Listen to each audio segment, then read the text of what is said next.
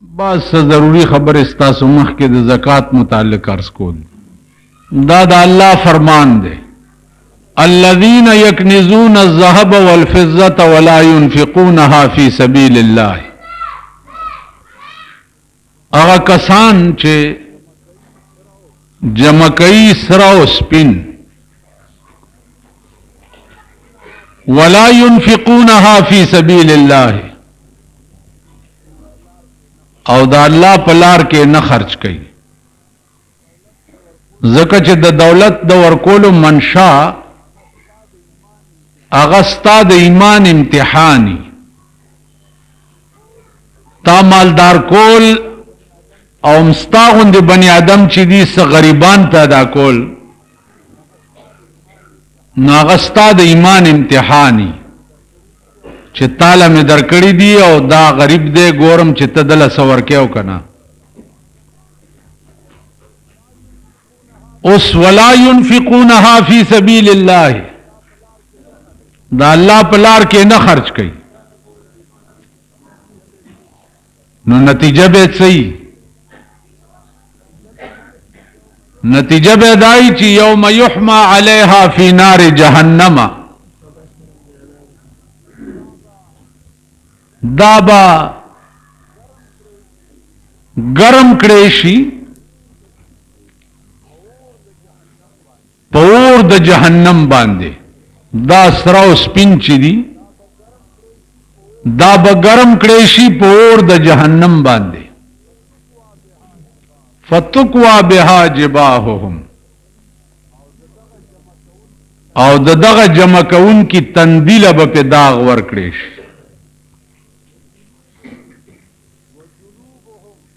وجنوبهم بیا به ولا دا ډډې او دا غلې شي وظهورهم بیا به ورته ملاګانې او دا غلې شي او بیا به ورته وویل شي چې هذا ما کنزتم لانفسکم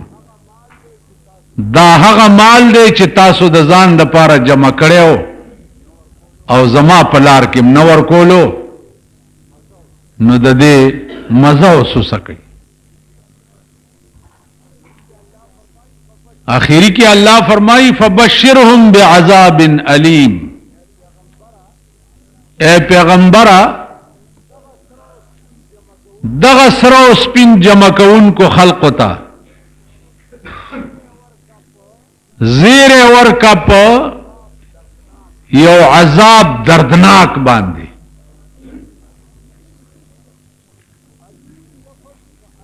علیم لفظ په عربي کې فعیل وزن دی او فعیل وزن کله په معنا د اسم فاعل راځي او کله په معنا د اسم مفعول راځي دلته علیم چې دی دا په معنا د مولم دی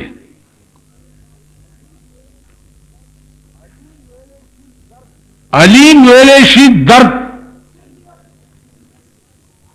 تا نو چې دا په معنا د مولم شي او د اسم مفعول شي نو مانا به دا شي چې اې پیغمبره دوی ته په داسې عذاب زیری ورکه چې هغه عذاب به په خپله دردېږي او خوږېږي به علما لیکي چې عذاب په خپله دردېدل او خوږېدل د دې څه معنا ده د دې دا معنا ده چې کوم عذاب په خپل دردمند وي نو بل سړی پکې کوای وای چغې وای نو هغه ته به احساس د د درد نه کیږي الله دې امان راکړي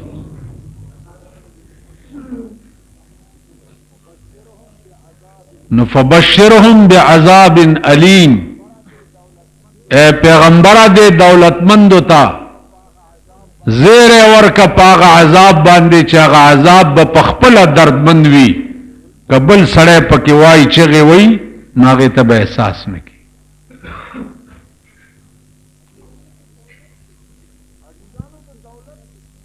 عزیزانو د دولت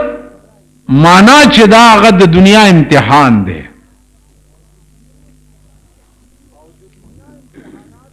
او د دنیا امتحانات چې دي هغه په ډیر قسمه دي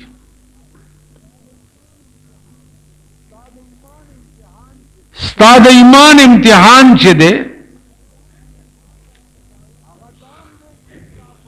هغه دام دی چې ستا په گاوند کې تا تدا پته ولګي چې چا کټوای نه د پخ کړي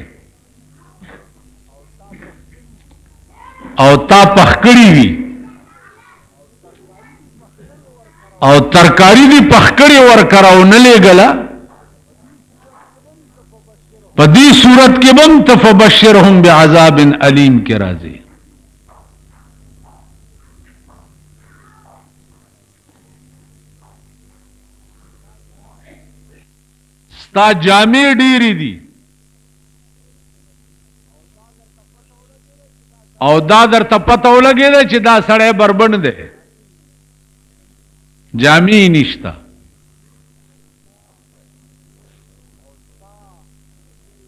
او ستا جامې وې او تا غ پټ نه کړو په دې صورت کې به هم ته په عذاب علیم کې راځې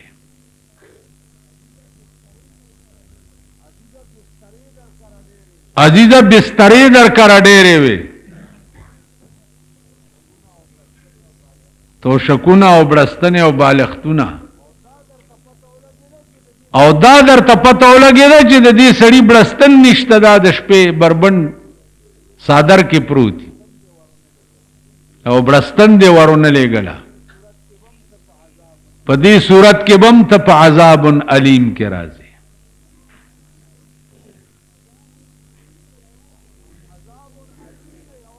نو عذاب علیم نه یوازې دا بچ کېده نه چې په دغه ورځو کې د روپای روپای نوی لوټونه د بانک نه راواله او بس چې څوک راځي روپای لوټ ورکوا چې دا زکات تقسیم دی نه دا ټول یو فراډ او دوکه ده د نفس چې مونږ پکې پراته یو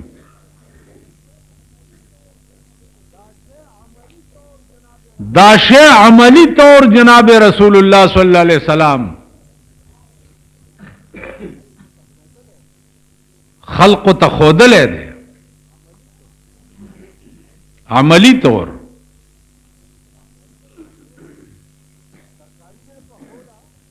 که ترکاری به په خولا نو خوروا به پکې ډېره وکړه جی دومره اوبو ته څه ضرورت دی یوازې مونږ خو نه یو کنه خوروا ډېره وکړئ چې څه مونږ وخورو څه دی ګاونډ کې ګاونډیانو ته هم ور تقسیم کړو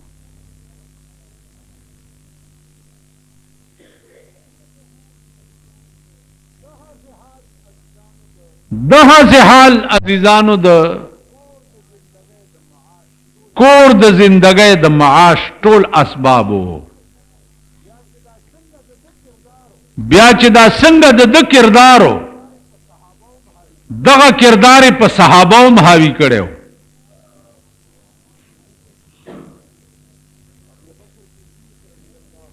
ابو بکر صدیق رضی الله تعالی عنه د دنه لوی مالدار په مکه کې څوک نه و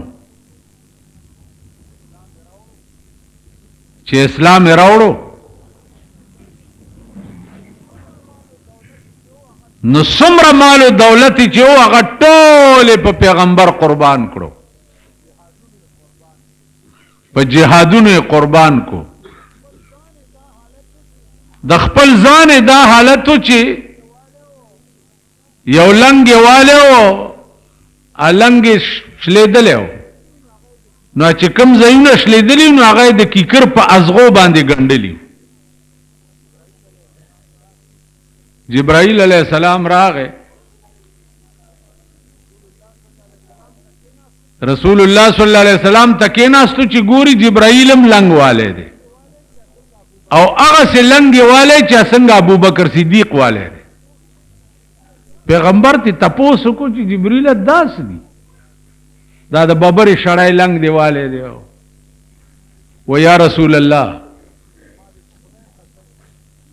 زما د په خدای قسمی چې نن د ابوبکر صدیق لنګ د خدای دومره خوښ شوی دی چې د ټول کائنات ملائکو ته حکم کړي چې تاسو هم لنګونه ووهئ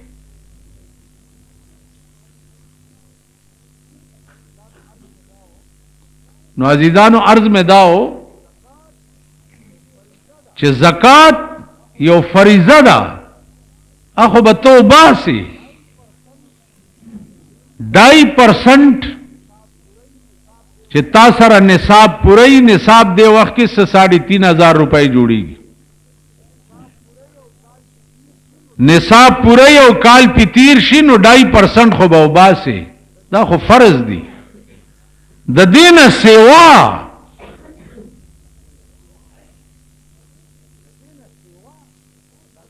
ددې نه سوا دا زما خبرې دي. زکات خدای دی خو د مونځ په شان یو فریضه ده او به کې دا د دې نه سوا خبرې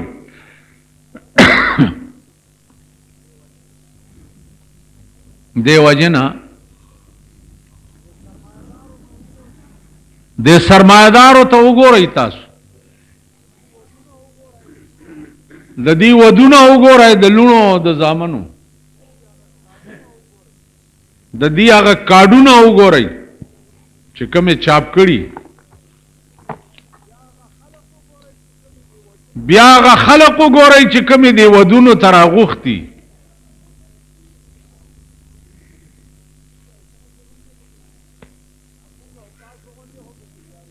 دا مونږ او تاسو غوندي خو پکې جارو کخ غوندي کنه اراغوختی خلق ورته هټول غوړ غوړ معزز شریفان دا مونږ او تاسو رزیلان یو پرتوګ او کمیس او صادره چې پسری د توي دا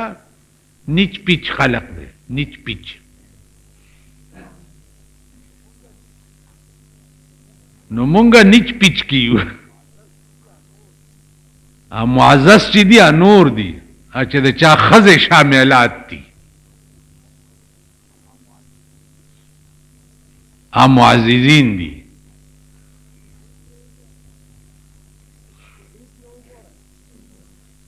دې کې وګورئ بیا په مړو کې وګورئ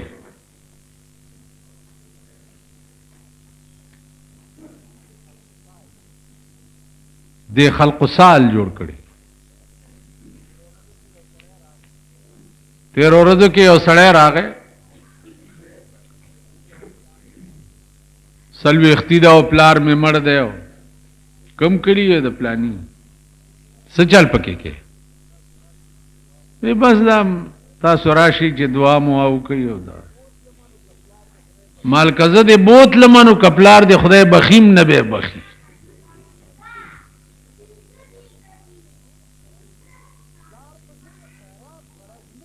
پلار پسې دې خیرات غرض نه دی دا زما بوتلل چې دي دا ستا د نفس خارخ دی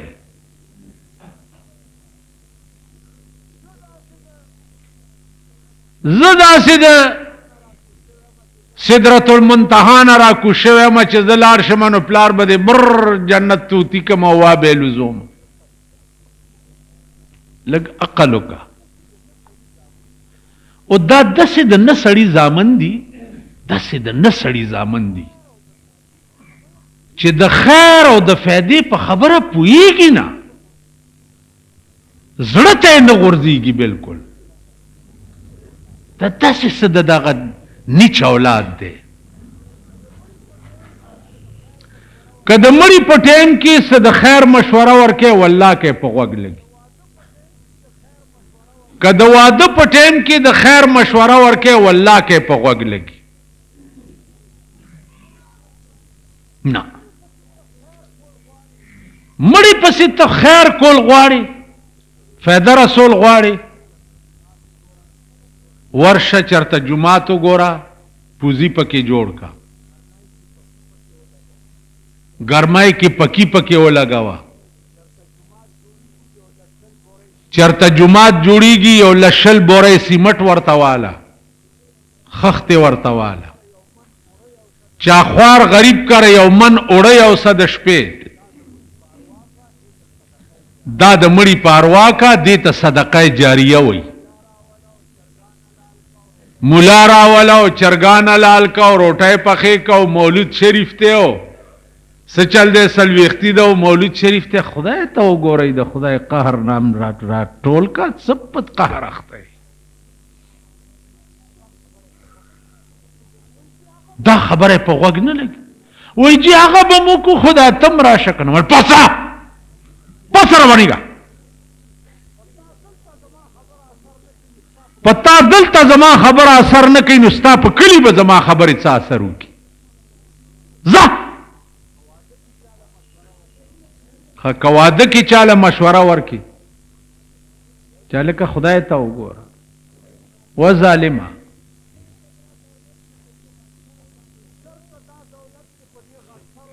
چرته دا دولت چې په دې غټ سرو باندې خورې چرته یتیمان یسیران خواران غریبان مسکینان دا ورته وګوره والله دا خبره د چا په دماغ ولګي که ستاسو په دماغ ولګي هلته هم چې هغه تلندی په کور کې کینولي دي هغې نه به هم څوک خلاصوي ښځې ته خو خپلې ښځې ته ووایه چې خو ښځې لږ ساده کار به وایې زګیره دې بار خوځوه په جومات کې کېنه دا دومره موده مېړه چاو دی دی د دې زوی په واده به ارمان نه وباسم نو زړه په ګډېدو شي زړې لا په نالت دي ځوانان لا په نالت دي بوډاګان لا په نالت دي الکان لا په نالت دي دا د خدای قهر دی که دا د پاکستان ملک دی دا د خدای قهر دی دا د خدای قهر راګیر کړی قوم دی دوی به ښه ورځ نه ګوري نه به د دوی چرته د سړیتوب فیصلې وګوري دا چې کوم خلک په حکومت ناستی د دوی فیصلې وګوره یو فیصله د سړیتوب چرته په اخبار کې ګوري چې دوی وکړه یو فیصله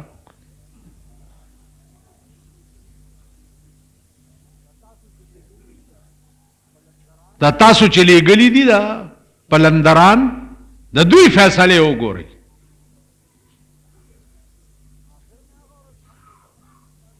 نو آخر مې هغه ورځ خلکو ته وویل مال داس چل دی وروره خپه کېږئ مه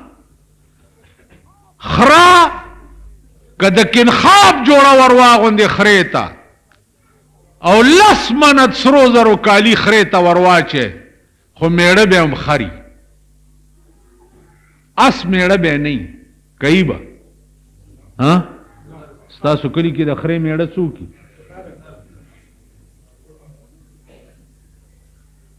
اس خو نه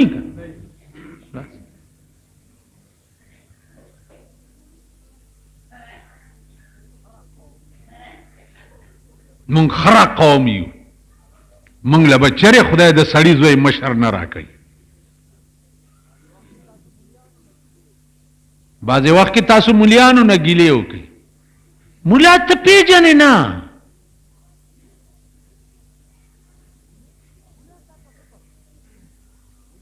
مولا تا ته څه پته ده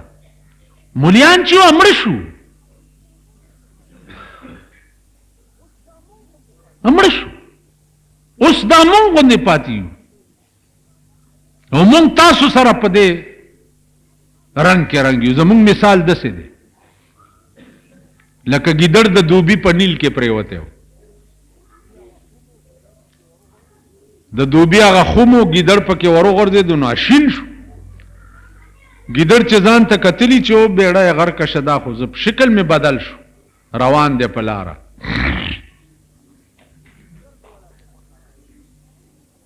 چرګ والا په مخه راغی ګیدړ ته وای چې وای ماما دا ولی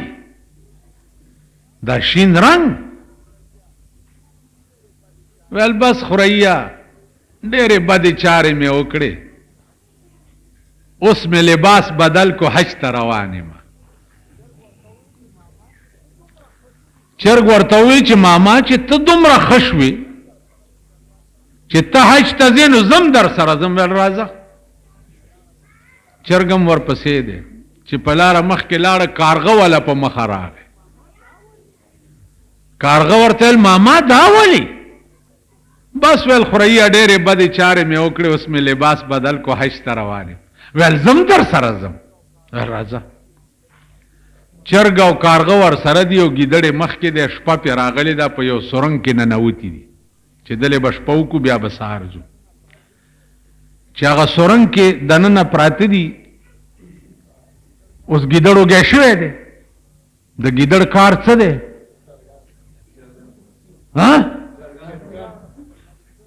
کارغان خوړل، چرګان خوړل، دا د ګیدړ کار دی که وږی شوی دی چې وږی شوی دی نو دی کارغه ته وایي چې خوريه داسې چل وکړه چې راشه زما په دې خپو داسې رو رو زورم کوه شپه دا خبرې به کوو شپه به تېرېږي سهار به بیا ځو که خیر کارغه وله راغلی پنجې پې داسې داسې کوي ورته وایي خوريه یو پوښتنه درنه کوم خو که حل دې ونه وې که نه نو مرګ دې ځای دی ویل جي وایه ویل دا توروالی در کې د کم سن نه را روان دی دا تاسو چې تک تور پیدا یې ویل خبر نه یو خو خدای دې سي پیدا کړی ویل جواب دې رانه کو کنه غلط خپل ورا چولې دا کارغه خو یو خړو چې وی خړو چرګ را پاسول ویل خوریا را پاسه د ما په دې خپلک زور کوا خبرې کو ویل کارغه څه شو ویل لګ بار وته ویل خوريه یو پوښتنه درنه کوم خو که حل دی نه وي نو مرګ دې ځای دی ویل ماما څه ویل ستا پلار مولاو که نیکه دي مولاو که غور نیکه دي مولاو چې دا بانګونه وي هغه وې زه څه خبرم خو خدای د سي پیدا کړې ما چې زه بانګونه وایم نو الجواب درانه کړ رب خله ورا چولې غیم خړلې عزیزانو تاسو او موږ د دوبي په نیل کې پریوتي یو. ته پوه شوې؟ دوبي په نیل کې پریوتي یو، لباس هم بدل شوی دی، خدای دې را باندې نه چرګ پېښوي او نه کارغه، چې خلک وه مړه شو. لاړ وای توتیان فنا شو لاړ لرمان کې توتیان فنا شو لاړ لرمان کې سترګې مې نم کا په هر زمان کې سترګې بنا کړه په لار سمزه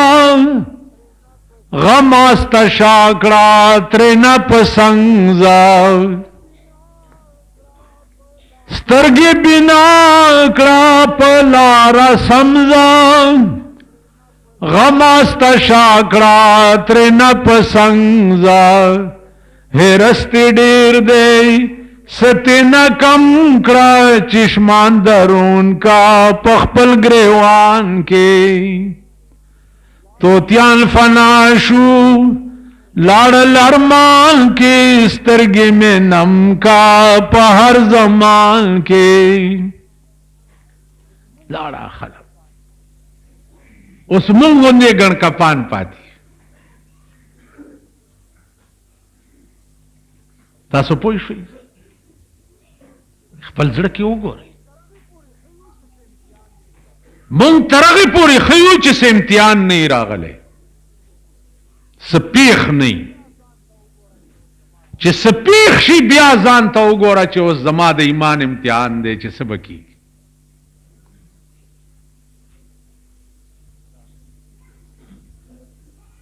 عزیزانو خدای ته وګورئ خدای ته وګورئ هغه د سورلسو سوو کالو اسلام ته واپس راشئ کینی تبا کېږئ غر کېږئ سورلس سوه کاله مخکې اسلام څو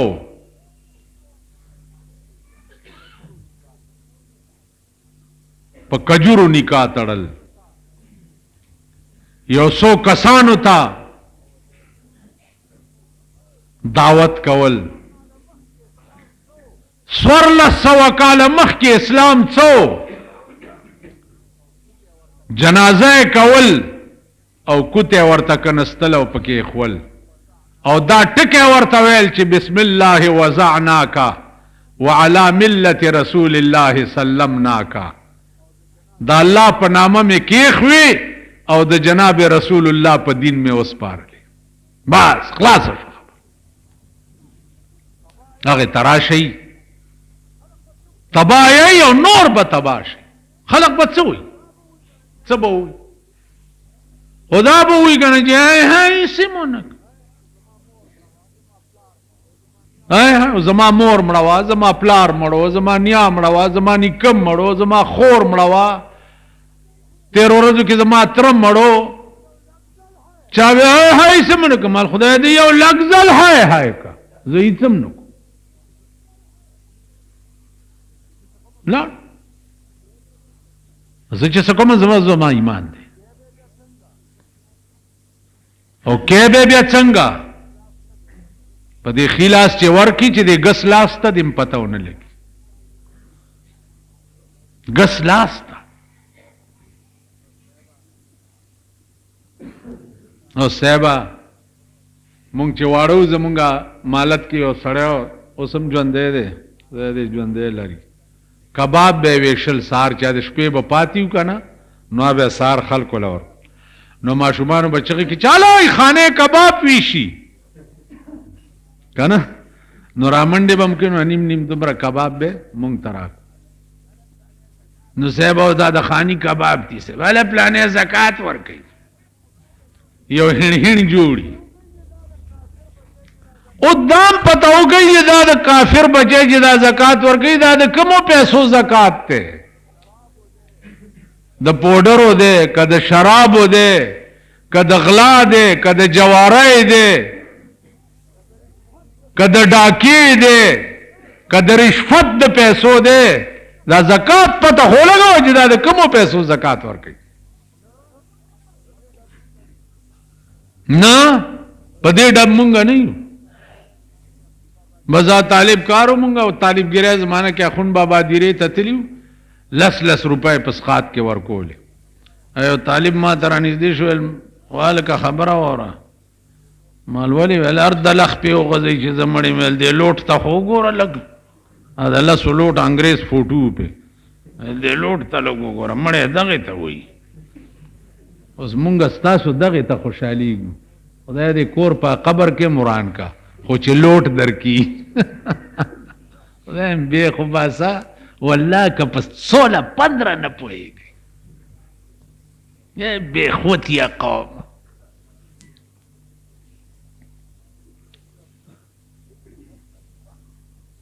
کم بخت بدبخت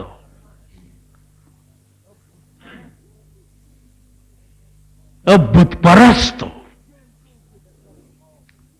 چوبیس ګنټې چې د کم قوم تصویرونه او بت مونږ ټوله ورځ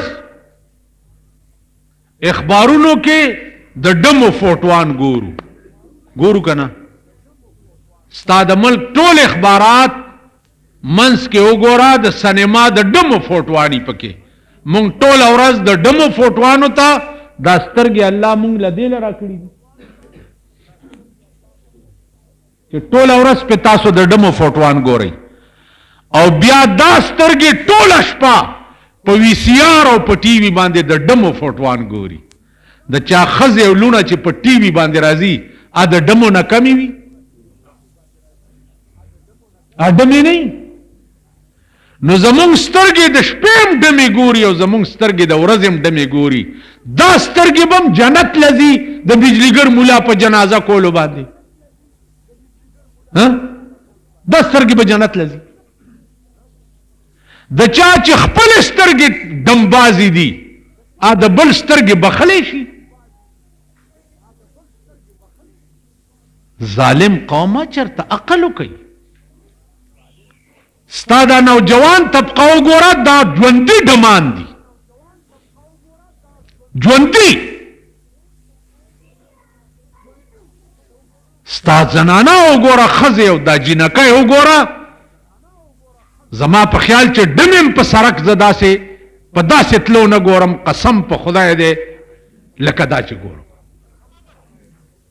ډم هم که د شپې ګډېږي، د ورځې لږه په سړیتوب روانه وي.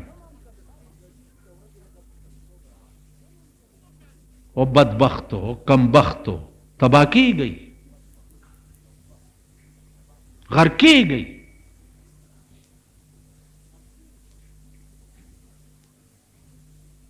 نن ته د ملک حال وګوره چې دا څه حال دی. اخبارونه دی اوس اخبار نه نو ګوره دا څه حکومت دی خبر بم نه در پورې بلکه اخبارونو والا تړلی او ټت نشي کولای ورته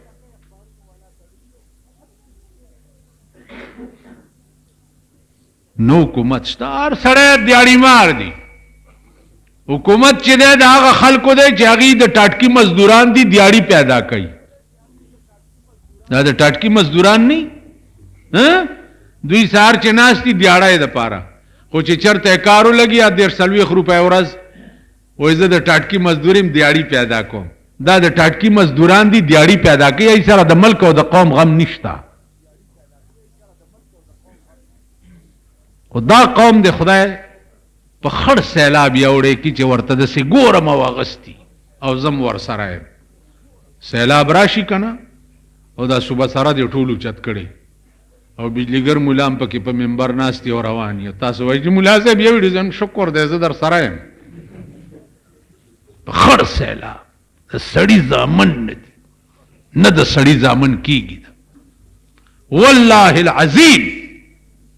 شپېته کاله قریب زما عمر تیر شو چې شپېته لکه کاله شي دا ملک ماته د سړی زوی کېدل په تصور کې خوب نه ګورم چرته باقی زکاتونو خبری چی دی هغه جزیات مانه بیا پاتی شو خو دی ته سوچ وکړی چی زکات د حلال مال کیږی ګورای د حلال مال چې په حلالو دی ګټلې یو زکات یو باسي هغه کیږي د حرام مال زکات باندې دی کده ثواب نیت کو نو کافر بشي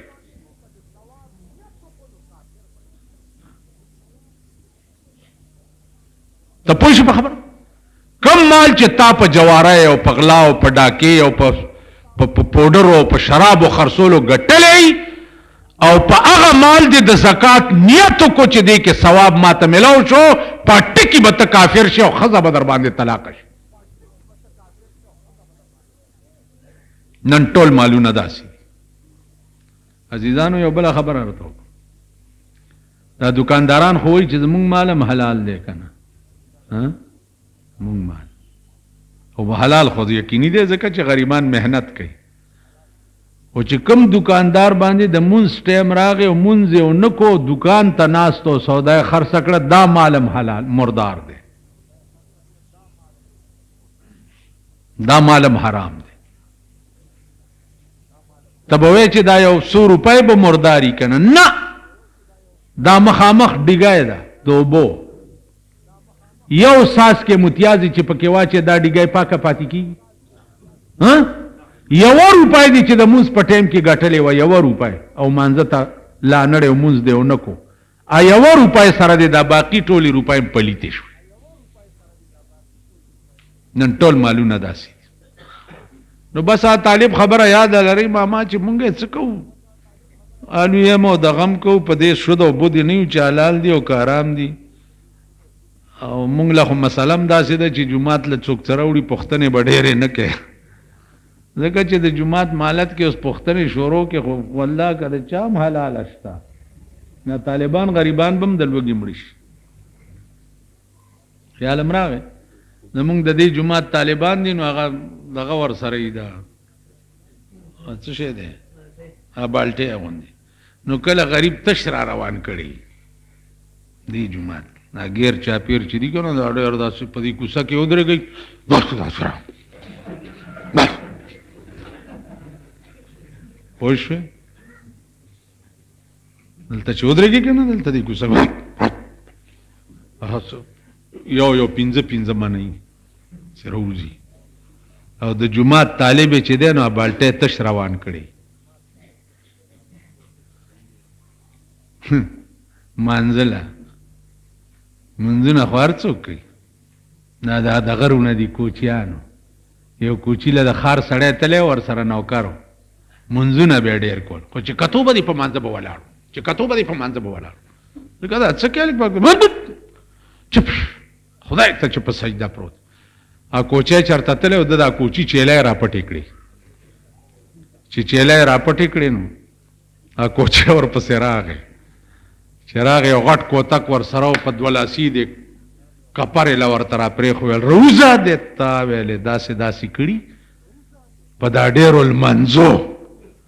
په بارانه کې به دې هم کاوه، په وچه به هم ولاړ وې او په لمده به دې هم ولاړ وې. خدای دې خونه ورانه که، د ما چیلۍ دې راپټې کړې. مونږ هغه یو په دغه مدو کې خپل ګریوانونو کې وګورئ چې مونږ د دې قابل هم یو هلکه ما ته وګورئ حضرت عمر او مونږ کې څه فرق شته ها ګونګیان یې د زمکه او د اسمان نم زیات ٹھیک ده کجا حضرت عمر او کجا مونږ توبه استغفار د حضرت عمر د کوسې د سپو د خاورو برابر هم مونږ نه یو هغه حضرت عمر چې وفات کېده نو یو خبره یې وکړه چې یا الله لا لي ولا علی خدایه ما چې په خپل ژوند کې څه کړي دي څه بدل کې څه راکوه ما خو چې خالي راته څه ونه وی چې خالی پریمه دی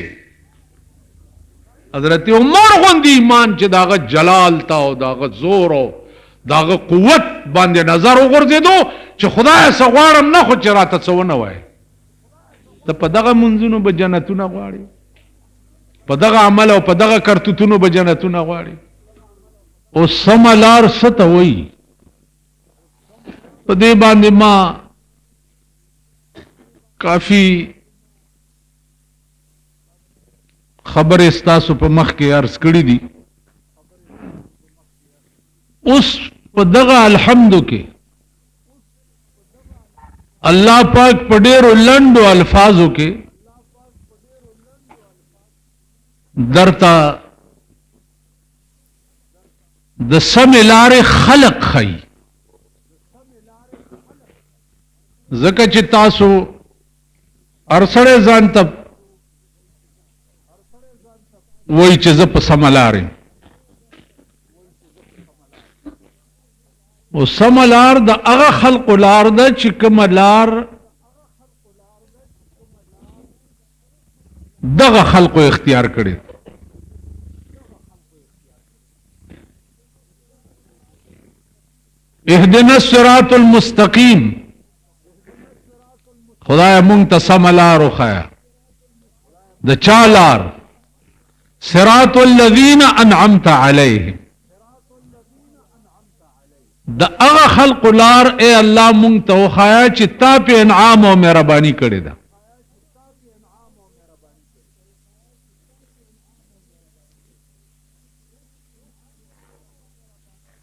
اوس انعام او مهربانه عزیزانو په دوه قسمه دي یو د الله انعام دی د دین او د تقوا او یو د الله انعام دی د دولت او د دنیا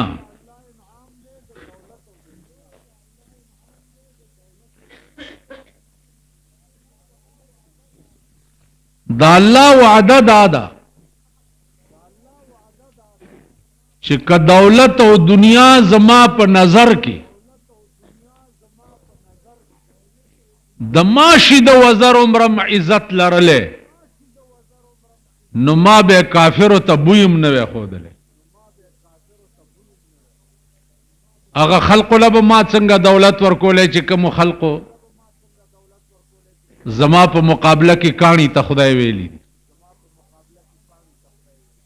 زما د پیغمبرانو زما د احکاماتو زما د قوانینو خلاف ورزي کړې ده هغه خلکو ته ما څنګه دولت ورکولې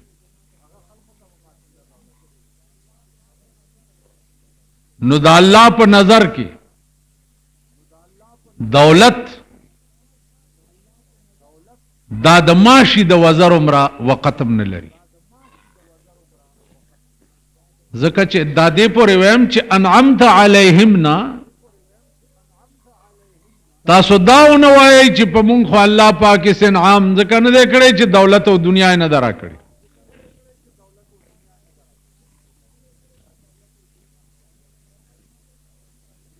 پیغمبر فرمایي صلی الله علیه وسلم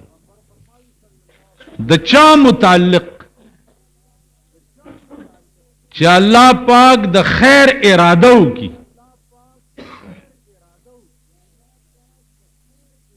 د الله اراده پار وخت کې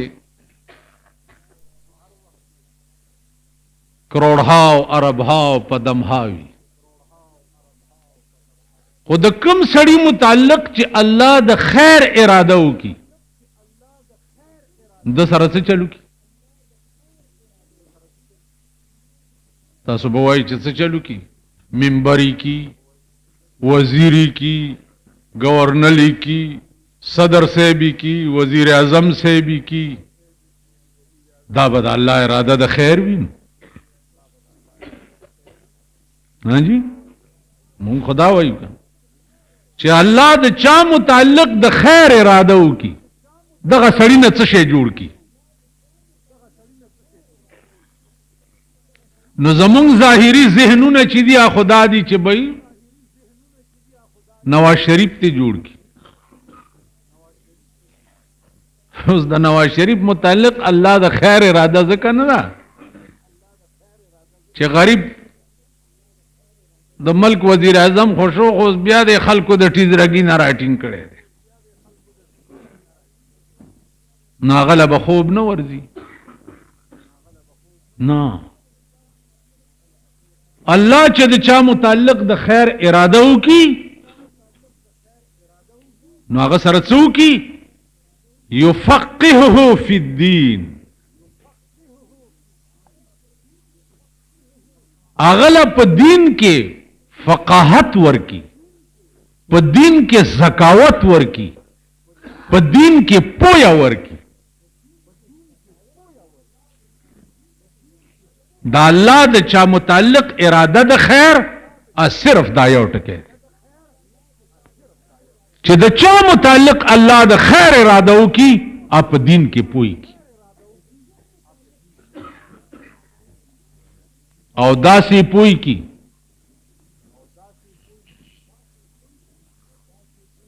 داسې پوي کی چې زمکه او اسمانونه جنگي دا کل علوم یوشت علم دی یوشت دا یوشت علمونه ورته داسې یادي لکه الف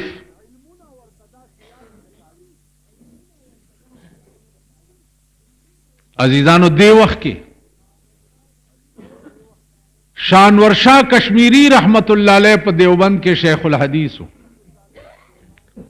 او هغه د دومره لوی علم خاوندو چې د هندستان ټولو علماو به هغه ته کتبخانه ناطق ویلې چې دا د ده علم چې دی دا دی نه دی بلکې یو لویه کتبخانه ده چې هغه خبرې کوي لګیا دی شاه صاحب به په خپله زمانه کې وي چې قحط الرجال ہے قحط الرجال دا معنا چې لکه قحط چې راشي کنه غلا ورک شي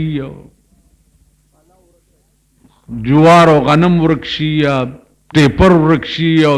سره باټینګن ورک شي قحط نو قحط الرجال دې ته وایي چې د سړو قحط راغلی دی سړی نشته سړی نشته دا شاه صاحب نن ناتیا کاله مخکې ویل چې قحط الرجال دی سړی نشته نو اتیا کاله پس اوس لاندې وګوره چې قحط الرجال خو لا څه کېږي اډو څه شته نه سړی کوم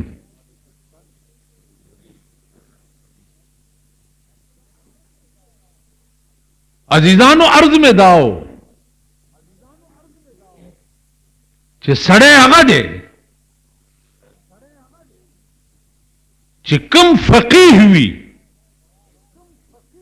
او د خدای په مراد پويږي د جناب محمد رسول الله صلی الله علیه وسلم په مراد پويږي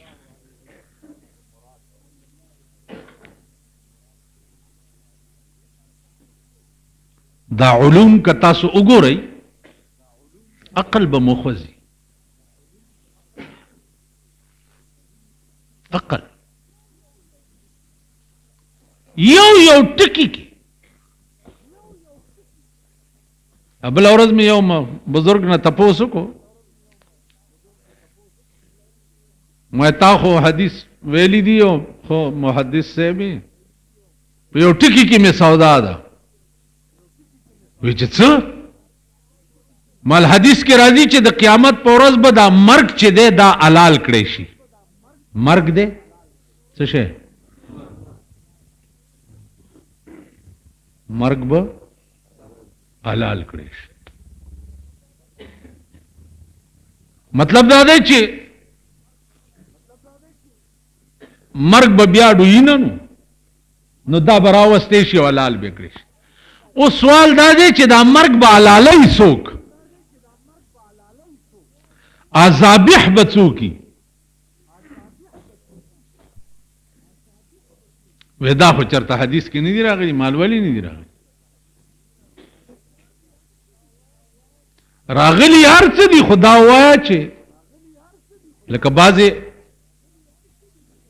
خلق وای چې د دین فلانه خبره زما عقل کې ناراضي یا زما سمجھ کې ناراضي عزیزانو دین چې ده دا د عقل نه بار نه ده فرق پکې دومره دی چې چرته د انساني عقل خاتمه وشي الته د دین ابتدای نو ستا رسۍ ورته نه کیږي دین د عقل نه خلاف نه دی خو ستا د عقل رسۍ ورته نه کیږي اوس کته وای چې د اسمان زما د عقل نه خلاف ته نو ستا د عقل نه خلاف نه دی خو ستا د عقل رسایي اسمان ته نه کیږي ټیک شو کته وای دی دیوال نرستو چې سدي دا زما سمج کې ناراضي نو دیوال نرستو شسته ضرور لیکن ستا نظر قاصر دی د دیوال کې د نظر دننه لګی نه نو دین د عقل نه خلاف نه دی صرف د عقل رسئی ورته نه کیږي شعر څه شته لیکن ستا د علم رسئی ورته نه کی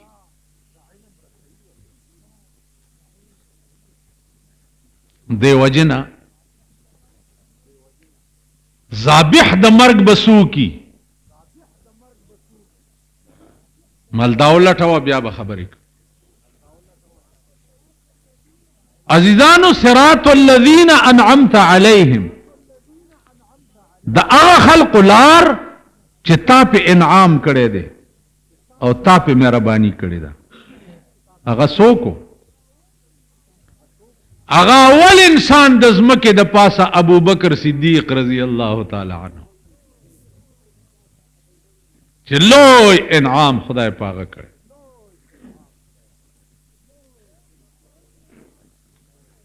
دویم نمبر لو انعام چې په الله کړو عمر فاروق رضی الله تعالی عنہ دریم نمبر انعام چې په کړو حضرت عثمان رضی الله تعالی عنہ سلورم نمبر انعام چې په کې په کړو حضرت علی رضی الله تعالی عنہ نور ټول صحابه کرام رضوان الله تعالی علیهم اجمعین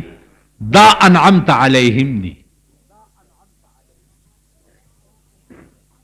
اے الله ما ته سملارو خیا داغه خلق الله راته خو چې تا په انعام کړي دي نو انعام اول په هغه خلکو شوی وو چې کوم خلک الله د جناب رسول الله د ناستې لپاره انتخاب کړی وو.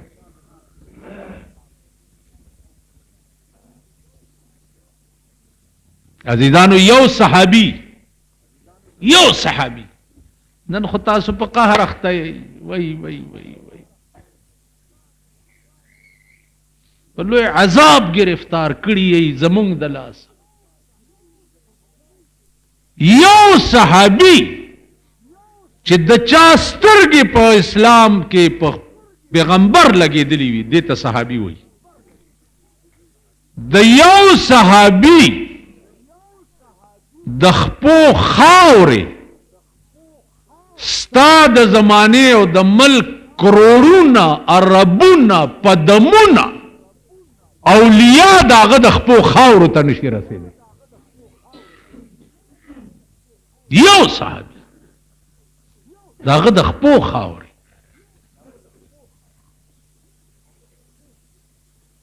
نن مونږ د پیرۍ په جامه کې یا د مولاتوب په جامه کې تاسو د خدای په عظیم قهر ګرفتار کړي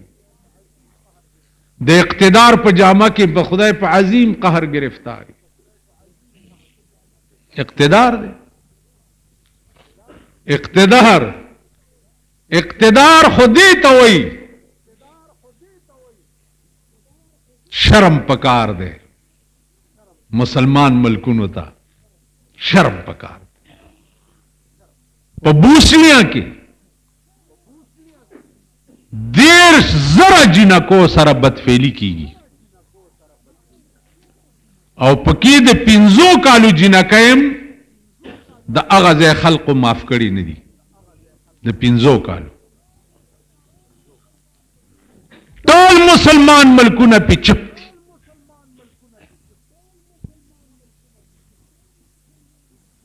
کړت نه کوي چې دا بوسنیا کې ولی مسلمانانو سره دا چل کی ایران یو جاز ور لګلو د وسلې بوسنیا ته اپ لار کی مصر بند کو چه کافر پی خپه کیږي دا جاز هغی ته نشی تلی.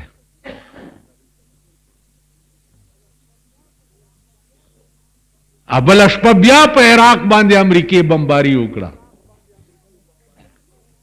صدر بوش په تلو تلو کې هم خدای دی هلاک که سره د مرګرو په تلو تلو کې هم خپل رانتوب بیا وکړو تر اوسه پورې ټول مسلمان ملکونه پی چپ دي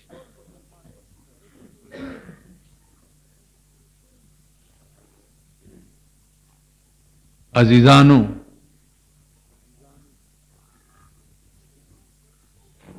مسلمان ملک خو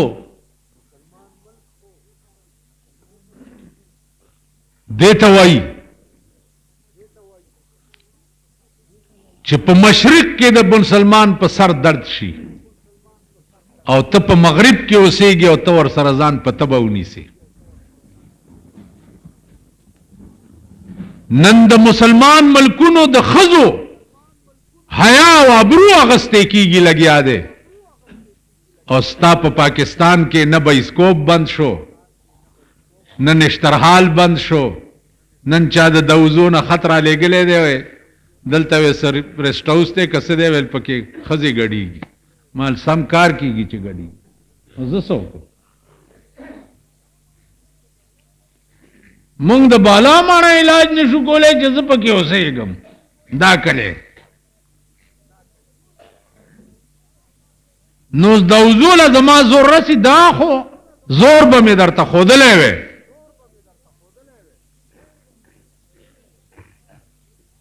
او د وزو خلکو ما ته مرزي مال خاتون را لګي جب دیا رنج بوتو نے تو خدا یاد آیا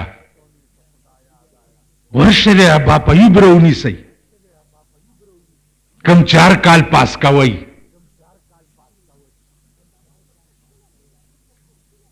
د خیر دا مشر څوک څه لا جوړوي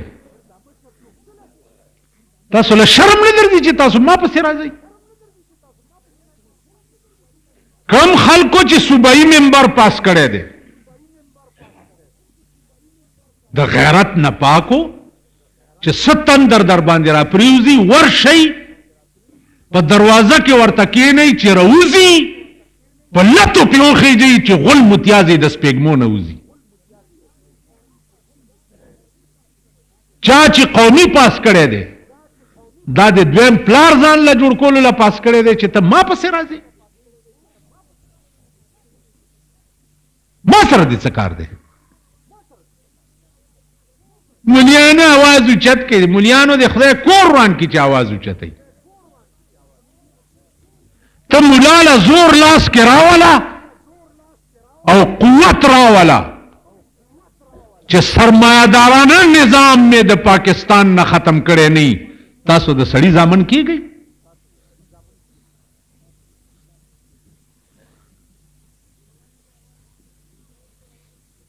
مولیان دی آواز اوچت کی نارو را مونگ نو اوچت و آواز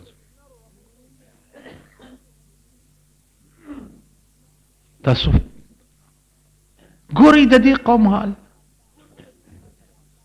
پوه نیم چې الله کم قهر له پاکستان ساتلی دی او کم رنگ عذاب به پې نازلوي امیر د ملک او مشر د ملک سردار د ملک انعمت علیهم خو اول ابو بکر ابو بکر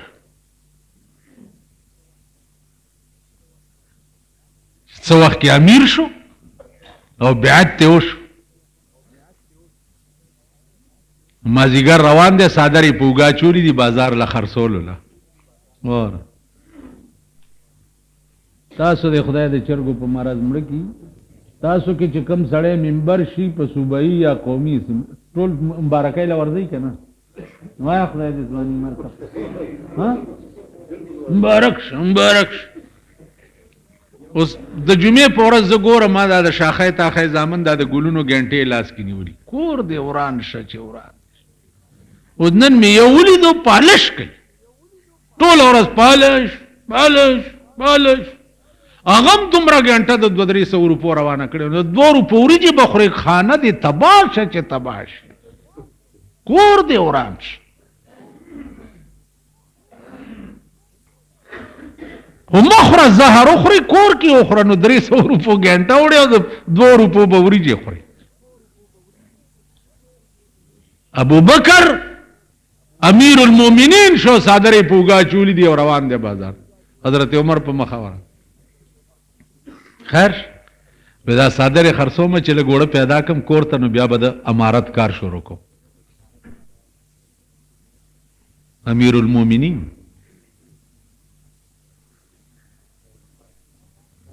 حضرت عمر راغی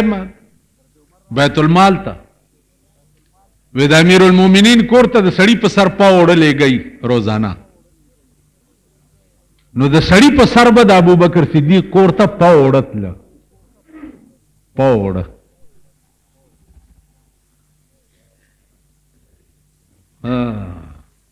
زمونږ خزه ورته یو ورځ وی چې انار ته میړ کی وی والله کما سره خو پیسې شته